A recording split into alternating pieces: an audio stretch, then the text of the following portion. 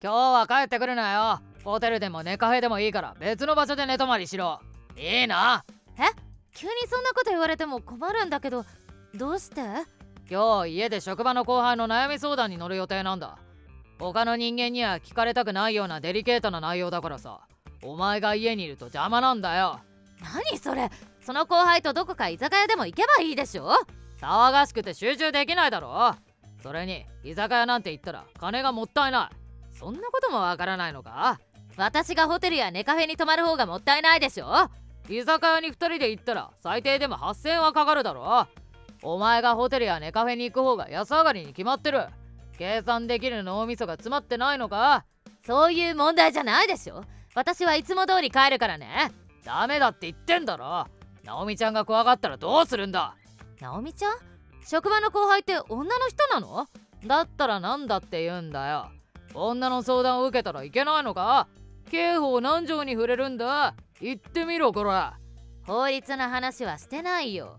日本は法治国家だ。法律に触れなければ何をしてもいいんだよ。それは話が突飛すぎじゃない？口答えするな。後輩が勇気を振り絞って悩みを相談してくれるんだぞ。部外者のお前が家にいたら気を使うだろ。空気の読めない女だな。後輩の女性の相談を一晩中聞くつもりなの？何が悪い？可愛い後輩が俺を頼ってくれてるんだぞ。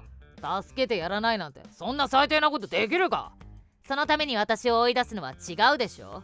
人聞きの悪いこと言うな。お前は俺の言うことを聞いてればいいんだよ。とにかく今日は帰ってくるな。嫌です。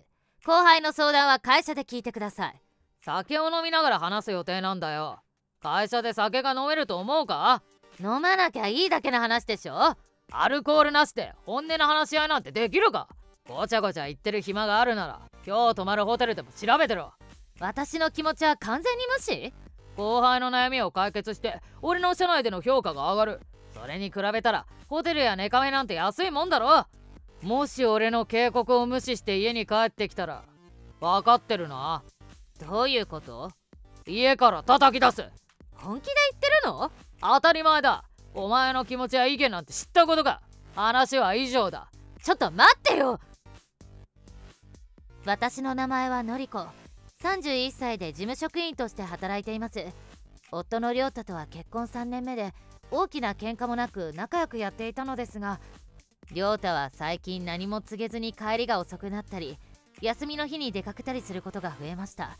私が理由を聞いてもお前には関係ないの一点張り。そんなモヤモヤした日々の中で起こったのが先ほどのやり取りでした。いくら後輩の相談を家で聞くからって私を邪魔者扱いするなんて。私はどこか怪しさを感じ帰宅することにしたのです。そこで私は信じられない事態に遭遇するのでした。その日の夜ちょっと玄関のドアが開かないんだけどやはり帰ってきたか。俺の警告を無視しやがって。絶対に家には入れさせん。自分の家に帰ることの何が問題なの？途中でつっかえて扉が開かないんだけど。ドアノブ用のチャイルドロックを取り付けてある。もしもお前が帰ってきた時入れないようにするためにな。明らかにやりすぎでしょ。私を家に入れさせないためにわざわざ買ったわけ？俺はあらゆる場面を想定する男だ。一応言っておくがチャイルドロックのお金はお前が払うんだぞ。別の場所に泊まろうとしないお前が悪いからなあなたが勝手に購入したのになんで私が払うの？明らかにおかしいでしょ？それを決めるのはお前じゃない。家に入るのを諦めてさっさとどこか行け。家の中にいるんだよね。開けてよ。後輩の相談を聞いてるんだ。お前がいたら邪魔だと何度も言ってるだろ。ここまで言ってるのに開けてくれないんだね。しつこいぞ。もしかして手持ちの金がないのか？近所の公園で野宿でもしてきたらどうだ？そんなことできるわけないでしょ。せっかく提案してやったのにつまらん女だな。とりあえず悩み相談の途中だから。じゃあな。待ちなさいよ。30分後。おいどういうことだ。すごい音がして起きたらトイレから出られなくなったぞ。何をした。あらお目覚めかしら。やっぱりお前の仕業が。何をした。っていうかどうやって家に不法侵入したんだ裏庭の窓。普通に鍵が開いてたよ。爪が甘いね。それとここは私の家だから不法侵入じゃありません。へりくつ言うな。それよりも一体何をしたんだ？電動ドライバーを使ってトイレのドアを塞ぎました。はあ？なんでドライバー使ってまでトイレ塞いだんだよ。出れないじゃねえか。出られなくするためにやったのよところで一緒にいる女誰えいや言っただろ後輩の女の子の悩み相談に乗るって。どうして一緒にトイレにいるの？トイレからあなたと女の人の楽しそうな声が聞こえてびっくりしたんだけど。しかもその後疲れたのか2人の寝息まで聞こえてきて呆れたよ。えー、っとなんて言えばいいのかな。悩み相談なんて真っ赤な嘘で浮気が目的だったんでしょ？私を家から追い出してホテル代わりに使うなんてトイレまで一緒なんて随分と仲がよろしいことで。そうだろ？俺は上司として後輩から慕われてるからな。トイレの時間でさ一緒に過ごしたいみたいなんだ。ちょっと何言ってるかわからない。それでやり過ごせると思ったの？なあどうしてここまでするんだよ。やるにしても限度があるだろ？あなたたちが逃げないようにするためよ。え？その女社長の娘でしょ？はいや違う！後輩だよ。後輩。ごまかしても無駄だよリビングに知らないカバンがあったから中身を見させてもらったの。名刺が入ってたから拝見してびっくりしちゃった。お前そんなことしたのか？金原富子って書いてあってすぐに思い出したよ。あなたの職場主催のバーベキューでやたらと絡んできた女だから父親が社長だから特別待遇で働いてるらしいね。酔っ払いながら私に自慢してきたの覚えてるわ？いや自慢だなんてそんな。既婚者でありながら社長の娘と関係を持つなんて許されると思ってるの？お前まさか社長に言う気か？もうすでにこちらに向かってるけど。え？さっき話したバーベキューの時に社長の奥さんと仲良くなったから連絡先を交換してたの。だから社長に伝えるなんて簡単だったよ。お前ふざけんなよ！社長にバレたらヤバいんだぞ！だったら最初からしないでよ。向こうから誘ってきたんだよ！旦那が相手してくれなくて寂しいって言うから旦那？既婚者ってこと？あ何度も言うようだけど本当に詰めが甘いよね。まあいずれ発覚することだから早いか遅いかの違いだけどさ。待ってくれ！俺は後輩の寂しいって相談を解決しようとしただけだ。嘘はついてないだろ？まだ言い訳を続けるの？とにかく落ち着こう。トイレのドアを今すぐ開放してくれ。社長にこんな姿見られたらヤバいんだ逃がさないためにドアを塞いだんだから。開けるわけないでしょ？お前は社長の恐ろしさを知らないんだ。元暴走族の総長で鬼軍曹ってあだ名がついてるんだ。へえそうなんだ。そういえば金属バットを持ってくるって言ってたわ。ガチギリしてんじゃねえか。頼むから今すぐ出してくれ。社長が来たら出してあげる。あ今連絡が来たけどあなたの浮気相手の旦那さんも一緒に来るそうよ修羅場確定間違いなっちゃねえか。それだけのことをしたんだよ。いい加減に観念しな。分かった。お前を家から追い出そうとしたのを怒ってるんだろ。それについては謝るよ。だからチャラにしよう。は？人間生きてれば誰だって過ちを犯すことはある。そこで大事なのは慈悲の心だと思わないか？何の話をしてるの？お互い様って言葉がある。